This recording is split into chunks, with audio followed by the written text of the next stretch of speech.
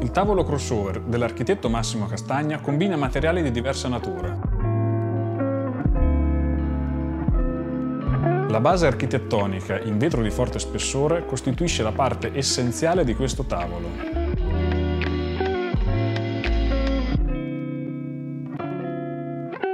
I dettagli in metallo danno forma al tavolo donando il carattere e originalità.